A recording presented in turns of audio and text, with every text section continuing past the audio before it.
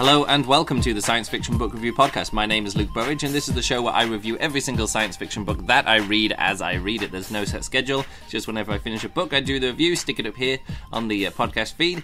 And today I'm going to be reviewing a, a recent book by an author who I've not read before called Peter Clines. And I think one of the reasons why I'd not read him before is because in my head, Peter Clines and Ernest Cline, who wrote Ready Player One, a book which uh, I didn't really get into, um, kind of got combined purely because you know an American author or whatever with Cline versus Clines, and um, so uh, I'd seen this uh, book around before, or no, I'd seen some books of Peter Clines around before. There's a series I saw one called The Fold, never really got round to it. Um, and then someone by email suggested this book because it came out this year, and uh, and uh, it was also suggested to me by um, Audible as an audiobook. So I was like, all right, let's get into this. It's called um, Paradox Bound by Peter Clines. Some information here from the uh, uh, Goodreads page, hardcover, 373 pages, published September 26th, 2017 by Crown. And um, this is a book, uh, an author who I didn't really know much about. It's got kind of a fun, quirky cover. And when I started in with this book, I realized, oh, right, okay, Paradox Bound. It's probably about time travel. Well, actually, it's kind of kind of worked out from the title as well. Um, Although weirdly enough, they, they, they, there is a kind of interesting twist on time travel here, which is like, no, this isn't time travel. This is history travel. We're not traveling through time. We're traveling through history. And I quite enjoyed that uh, little conceit because it seems to set up the idea that when they travel somewhere, they're not traveling just somewhere in space and time. They're traveling to different moments of history, which uh, you know sounds like a fun uh, thing because that's that's what time travel is quite often in uh, you know TV shows and books and stuff. It's like okay, we we want to go to the interesting places where things happened. We don't just want to go back to random places where things don't happen. Um, unfortunately, some books by Connie Willis is kind of based around going to places where nothing happens and nothing matters and you can't affect history or anything. Um, uh, this is a, a different thing. Um, however, a lot of the idea of like, well, how do you get there is kind of hand waved away. There's lots of like, well, how does this work? And kind of like, well, we don't have the answers. And how does this work? Oh, we don't have the answers to that. Why did the bad guys not have any faces? Oh, I don't really have the uh, answers. Um, and to be honest, maybe those answers did come up, but I stopped reading this book around about halfway through because while the uh, original idea, uh, or some of the original idea, I got halfway through. It, it sounded good. I got halfway through this book and it wasn't grabbing me, and I and I suddenly worked out what was going to happen. So at the start of the book, there's a, just here on the getting this stuff from the blurb of on on Goodreads. Eli is a is a young kid, and he and a car drives past an old Model A from 1920 something. Drives past and he's like, wow, that's interesting. And some little adventure happens when he's eight years old. And then again, when he's four, 14 years old, the same car with the same person who hasn't aged drives past. And then uh, he's like, oh, this is interesting. And it turns out that that character's name is Harry. She drives a car. The car is probably a time machine. And and then uh, and then yeah and then a few years later or actually quite a few years later when he's like 29 or something like that or 30 years old um, uh, Harry, e- Harry and Eli meet again, and this time he's like, "Oh no, I'm going to go off. I'm going to go off on the road and uh, and uh, see if I can uh, track her down and warn her about these these weird faceless um, men who are or a faceless man who is trying to track her down." Um, and uh, it has the it has the uh, the problem where like someone like in this situation when you see someone who hasn't aged in all that time and they're driving a weird thing and they've got some weird uh, it says here um, someone who uh, is revolutionary war era clothing and wielding an oddly modified flint, flintlock rifle and driving a hundred year old car and they keep turning up again like many years apart and not growing old and like it's one of those things that as I'm reading like a, a comedy uh, or a humorous science fiction book, I'm just like, okay, why doesn't the main character just go, all oh, right, okay, so, th- so I'm in a time travel story, and I kind of wish more would do that because it kind of gets a bit tiresome having someone go, oh, what's going on? What's going on? What's going on here? How can this be happening? What's going on? How? What do you mean you're going to be? You have to be there last Friday, or you've got to be there next Friday? Like you're gonna like and it just kind of get a little bit tiresome with someone all, always trying to work out what the what the next uh, you know what the next time travel rule is going to be or what this next step is. Like oh so it's time travel. It's like yeah okay four chapters ago we knew go knew we knew it was uh, time travel but the characters have to catch up. There's actually a, a short um, uh, funny, uh, like a clip. I can't remember who it was from, um, but it was a, it's called some Groundhog Daying, and it's just someone turns up at the office and is like suddenly has superhuman powers of memory and recognizing people and knowing what's going to happen next, and immediately someone turns to him and goes, "Are you Groundhog Daying?" He's like, "No, I'm not. I'm not Groundhog. I totally am Groundhog Daying." And then it's sort of like, going, "Oh, great! Tell me about this about Groundhog Daying." And they and you don't nowadays you don't need to set up what the rules of Groundhog Daying are. You're just like, "Oh yeah, I'm stuck in a time loop and I can you know infinitely learn stuff and I can kill people and there are no consequences, all that kind of stuff, is all wrapped up in the idea of, yeah, yeah, I'm Groundhog Daying. And I kind of wish more like if you're just gonna do a comedy book or if you're gonna do a story like this just get just skip over the five chapters of somebody going, but what's happening here? What's happening? What's going on here? Just like, yeah, okay, I'm in, a, I'm in time travel. This is what we're doing. We're a time travel story. Let's go for it. I know the rules of time travel, and if there are any different rules of time travel, um, let's just get to those different rules of time travel. Like I say, there are a few different rules of time travel in this one. Turns out the car isn't so much of a, um, a time machine in its own right, but it, it drives around the roads in a way uh, which can get, which can, I don't know, use the time slip like on different sections of road and different highways in America and different train lines or something. There's these slip points where you can slip between time and space. Um, by uh, yeah driving between these different things uh, like driving over these things and I can't, I can't remember the exact kind of thing but yeah I go over these slip points um, so uh, once I once we work out oh that's what's happening it's a time travel and they're going to meet up and go on an adventure together um, what we're left with then is like, okay, time travel adventure in a car across America. Who are these characters? And Harry seems to be kind of like interesting. Eli is kind of boring, and it's annoying that someone who is so boring and who has so few opinions or ideas or um, ambition in life, because he just it's sort of like here again, right from the Goodreads blurb. Eli's willing to admit he's a little obsessed with the mysterious woman he met years ago. Now, I do understand that if you if something happens to you as a childhood and then as a teen and you're like, oh, this is actually interesting, you know, who is this person?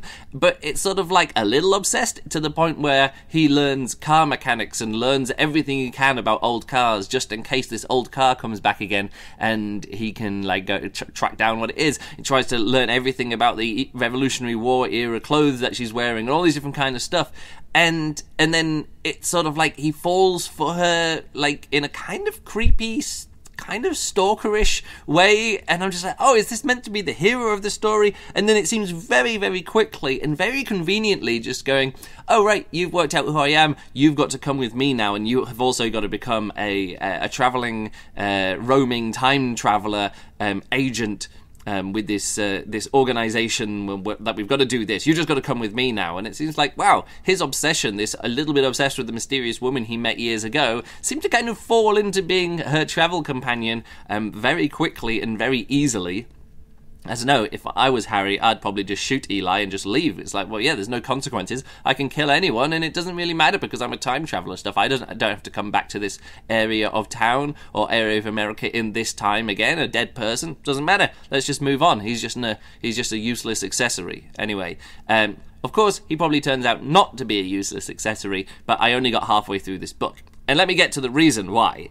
Is because once we set up time traveling car stuff, yeah, I mentioned this before, time traveling car, boring person, slightly interesting person, being chased by kind of interesting person, a few people dying, a bit of tragedy, but then going on, oh, right, so we're gonna go on a cross country through the history of America, um, uh, time travel history, travel romp.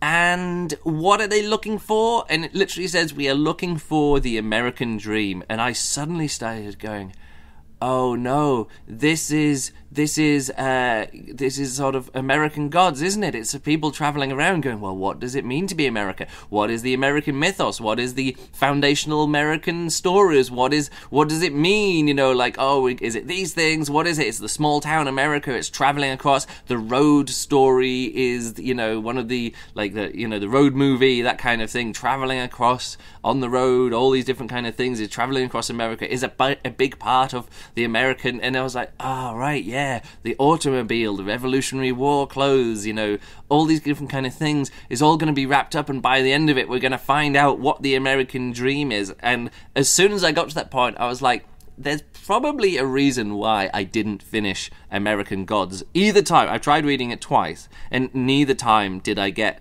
you know, get through it. One time I stopped after about four or five chapters. The other time I got about halfway through and I was just like, I just can't do this anymore because fundamentally the question of in science fiction or in these uh, you know fantasy books of what is America and America coming to grips with itself in this kind of timey wimey you know American gods kind of way just it's not that it doesn't interest me but actually kind of annoys me that this is a a, a, a kind of a, a, pursuit that the um the uh, these authors are wanting to to to make. And i understand the idea you know i understand the urge to do it and i get onto a bit that get onto a bit of that uh, a bit later more of that a bit later.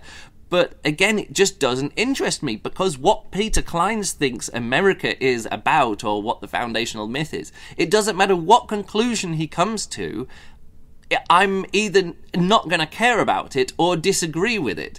And and I kind of know that because he's probably just a white guy from. Um, he says it grow, grows up in the Stephen King fallout zone of Maine, and I'm just like inspired by comic books, Star Wars, and Saturday morning cartoons. I'm just like that person is not somebody whose vision of America I'm going to find interesting, and what he thinks is the American dream isn't something that I'm going to ad- identify with or find interesting in any way. And so I went across to, to make sure I didn't keep reading this book and, and could just return the audiobook to to Audible. Um, I went over to uh, Goodreads and I found one friend who has uh, who uh, a few friends, but one friend who has written a long fr- uh, review on this, and it is uh, Christopher Murphy, rated at five stars. It says this is the book I was hoping to read when I first heard a vague mention of Neil Gaiman's American Gods, a very po- polarizing novel which tends to either inspire or disappoint each reader who comes across it. Your mileage may vary. Um, not because the two books share the same subject matter, of course. Anyway, it goes on to uh, goes on to actually say exactly what I was feeling as I was as I was getting into halfway through this book, and go, ah, this book might not be for me. And then he opens it with sort of like, yeah, American Gods. Anyway, Christopher Murphy within this book uh, again, the, the, there is some spoilers in that review as he talks about it. But when we got through to the end of it, he says, "Oh, what is the American dream?" Well, the American dream is dot, dot, this is what they discover, and I'm like, I am now really, really, really glad that I didn't carry on and read that through because now I know what he thinks the American dream is, or the you know what the American dream could be to Peter Clines, uh, who who wrote this book. Uh, not not so great. Anyway, but Christopher Murphy rated this book five stars. So if you want a, a time travel, history travel romp to get into the, the bottom of what the American dream is, uh, I mean, in this book they say, oh, the American dream is a thing which was stolen by, I think, an Egyptian goddess or something like that. Um, it says, uh, uh, Goodreads blurb here as well. His determination soon leads him into a strange, dangerous world and a trace, acro- a chase not just across the country, but through a hundred years of history, with nothing less than America's past, present, and future at stake. Um, yeah, that's not that's not a book I was going to spend another seven hours of audiobook with. Um, I would uh, ra- life is short. I would rather get onto other things. Um, so yeah, that's my reading experience. However, um, if I am to get slightly political here and weigh in on why I don't I don't find these books interesting or inspiring, it's because the American dream seems to seems to me from someone outside, and I'm not saying where I live or where I'm from is better than America in any way. I'm just saying that like it's the American dream seems to be uh, like a willingness to forget that the country is like the foundation of the country is based on uh, like land grabbing, you know, and genociding Native Americans, the economy based on slavery and perpetuated into the current day via massive um, I know inequality and racism and systemized, you know, persecution of minorities and all that kind of stuff. That's what the American past is, and the American dream seems to be a, a, kind of like, hey, we're all, you know, white middle class people here. How can we forget all of that and make our country's identity be not that? And that's a harsh way of putting it and a blunt way of putting it, but the way that I see it is that America does very, very well in the world, and it's because they don't, they haven't lost any big war. Like, for example, I live in Germany, and after the Second World War, Germany had to look very hard at itself and go, okay, so what are we as a country? What can we, what do we need to do as a country? How can we rebuild as a country? And all of the foundational aspects of what they had just been through as a country, of like how the country came together, in the uh, you know in the 19th century into one country and all the 20th century um, let's say issues to skim over like massive issues um, those all had to be looked at and addressed and talked about. And now every kid at school in Germany uh, learns about, uh, you know, about the Holocaust and about the Second World War and all these other kind of things. And then it kind of happened again with East Germany, like and West Germany coming together. A bit, a little less so, but there was kind of a looking at ourselves, going, "All right, so what is it? Like, what is our past, and what do we what do we do? It's kind of like by losing the Second World War, it was forced to address itself and kind of not come up with a new founding myth or um, you know, a new uh, a German dream or American dream for Germany or anything like that. But it had to kind of go through that process of relearning itself what it's what it was about. And uh, and the same in the UK. Even though um, you know Britain also won the Second World War, it was le- left with like massive amounts of debt, lost all its empire, and a lot of the identity of Britain, even now, is kind of struggling with oh, you know, losing the empire and not being as great as it is, and all Brexit Brexit is kind of wrapped up in that. It's having to face, you know, in a time of like after a crisis to go, okay, what is it that we need to do here? What is it? What is foundational to our country? And of course, Brexit is all a big fallout from that, where people going, oh, actually, you know what we decided we were as a country oh we want to go back to what we used to be or whatever the you know whatever people think they're going back to. Apparently blue passports are important or whatever like that. Um but yeah, like countries have to go through, or national identities have to go through these crises, crises, crises, and America is one where every time it has come out of something, it has like to- told itself or tricked itself, or not even tricked itself. Like the reality is that they did win the Second World War, and they did very well out of the Second World War. It sort of boosted their economy, and afterwards they were like, "Oh yeah, we got all these, you know, all these, uh, you know, army people. We can do all this sort of like what is it? The, the all the uh, infrastructure stuff. We'll just get the uh, marine engineers to come in or whatever they are, uh, the army engineering corps, and they'll just build these bridges and build these dams and build all the highways and all these different kind of stuff. And it was all like, ah, actually, turns out the Second World War was a good thing.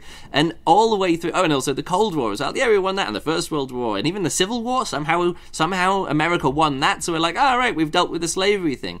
Um, but there has never been a time where America has had to go, actually, let us now address the past head on. Let us now work out what our new country identity is going to be. So, all of the time, all of these things of going saying, oh, what is the American dream? It, none of these, th- like, it, it seemed to me like I was reading this book and I was like, oh, it's a white man wondering what America is about. I'm like, why do I, like, why is that, why is that, is that person asking or talking about America because it gets to the point where I'm just like, I don't care what conclusion you come to. If you get halfway through a book not addressing the fact that you're a white guy from Maine and your main character is a white guy from Maine in from a boring town a, and he's a computer programmer. Like, how is this person going to get to the bottom of what America is? Um, and they go off to the west, and I'm sure there's lots of stuff. But again, maybe the book is amazing. Maybe the second half addresses all of these things. However, it it seems to me that the the American dream is like a like a, almost a literal whitewashing exercise. Like they go out to the old west and it's like, is there? You know, they go into a saloon and there's someone with a beard and he doesn't have a beard anymore. And then they go off and there's like, oh, there's a railway here. Oh, there's a railway here. And I'm like, look, even even like the Lone Ranger movie, which is all about the Wild West, even kind of slightly like in a very weird, problematic, racist way, addressed the fact that oh, this um this railway line uh, was only possible because we took all the land away from the Native Americans who lived here. Oh, there's a whole you know uh, cultures and civilization. Oh, we'll just move them out the way. What do you mean move them out the way? Oh, just you know we'll just go through this burial ground. What does that actually mean to put something through a burial ground? And I see it even today, like of course in America, like you, you just look at that and just go, wow, there's there's still like the self awareness that is needed to come to terms with a past and work out what the country stands for and what the what the founding myth is possible to be only comes with defeat. And i think I know it's weird to say this, but I think electing Trump might be America's America's like, oh shit, like we've got to look at ourselves and, and see this kind of thing. I'm not saying that electing Trump is as bad as losing the Second World War or as good as losing the Second World War or anything like that. I'm just saying it's one of those times where you're just gonna go, oh right, this might be the moment where actually it it could be possible to find a new founding myth or come up with a new national identity or at least look at our past and understand what the founding of the country really was and what the basis of the country was. Um, so anyway, it's the maybe there's hope in the future, but that's not going to come through reading like uh, um, white science fiction authors' uh, musings on what what it's what it is to be an American uh, and what the American dream is. Uh, doesn't uh, it's difficult for me to uh, get enthused about that kind of stuff. Anyway. as my review of a book which I didn't finish, and some political opinions which probably won't win me any fans, um, but it just seems to me that this project of what is the American dream is a, a, a hist- is really a history project, and this is a history story, and it seems to be willfully ignorant about any non-white history or any non-white experience of America. When for me, looking at America from the outside, like everything I hear and read, I, li- I literally just read a news story. It says that the um, uh, what's it, the uh, Malaysian soldiers who were involved, I think it was Malaysian, I can't remember Malaysian soldiers who were involved in this uh, battle in this forced march by the Japanese. Um, and uh, the last one of them, oh, the last survivor or one of the one survivor of this has died, and it's sort of like, oh yeah, we took part in this march and we fought alongside the Americans, and we were promised that um, after the war we'd be able to get American citizenship, and sort of, and I came to America, and it turns out, oh, all that time when we said, oh yeah, you fight with us Americans and you get American citizenship,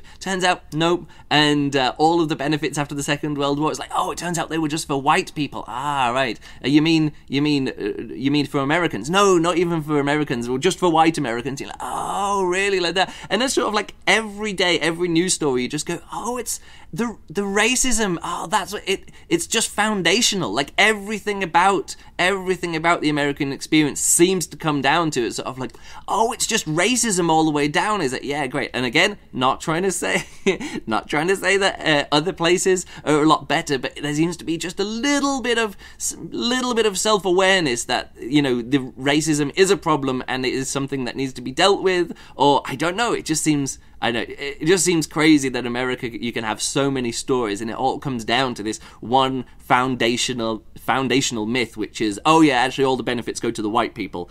Um, what was that story that I read in the I think Boston area that the the average wealth of white homes was sort of like two hundred and seventy thousand, or that's how much you know, you know, assets minus debt or something, and the average wealth of black homes was like 47 cents or $2 or something like that. And, you go, and it's and that's the clearest thing. Clearest indication is race and all these kind of things. So anyway, it all comes down to race. And a book like this didn't even mention that in the first half of itself um, when it could. Anyway, that's my review. Blah blah blah, etc. Right, I would rate this book, but I only read half of it. So if I only read half a book, the most I can give it is like one and a half stars. So to be kind, I'll give it one and a half stars. But I only got halfway through and uh, and then ask for my Audible credit back because I was really not getting into it and enjoying it. So uh, yeah, you can uh, one and a half stars. Yeah, follow me on Twitter. Oh no, let's see. Oh no, actually, I was going to say let's see what other people thought about this book. But I already talked about. Uh, uh, the one friend on Goodreads who uh, reviewed it, um, pretty highly reviewed actually already on on Goodreads, three point eight nine stars. Um, and four 4.0 average among friends, but only like five people have read it. So uh, of of my friends on Goodreads, but you should become my friends on Goodreads so I can see what you think about books like this. Also, tell me should I read another Ernest Cline? Uh, no, sorry, not Ernest Cline. Uh, Peter Clines' book, like The Fold or 14 or what is it the uh, um, the Ex-Heroes series. Are they worth it? Are they better than this? Um, by looking at some other people's reviews, like uh, it seems that people not uh, overly enthused about this book.